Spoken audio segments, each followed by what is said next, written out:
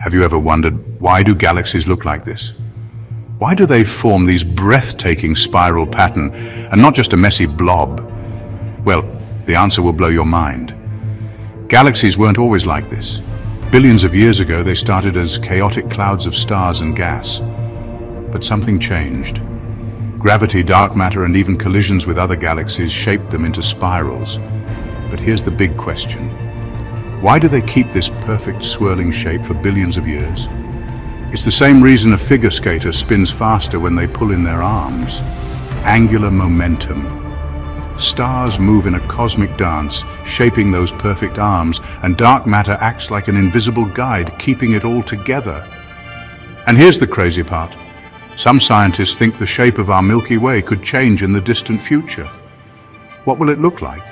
Well, that's a mystery still waiting to be solved.